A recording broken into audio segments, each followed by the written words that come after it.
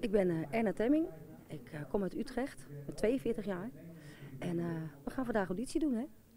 Ja, en uh, je doet mee met Bloed, Zweet en Tranen. Dat gaat natuurlijk over het Nederlandse lied. Ja. Waarom heb je hiervoor gekozen?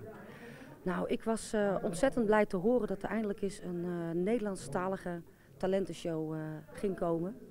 En ja, ik zing natuurlijk graag het levenslied. En ik dacht, dus dit is de kans om aan zoiets mee te doen. Dus vandaar. Ja. Welk nummer ga je straks zingen?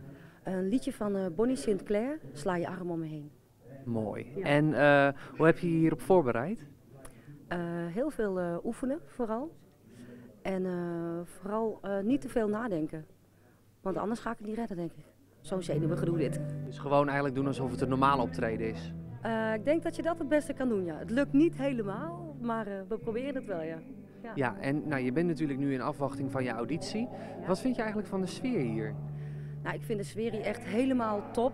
Ook uh, alle kandidaten onderling. We hebben gewoon de grootste lol. En ja, iedereen is gewoon aan het genieten. En uh, dat vind ik wel heel mooi om te zien.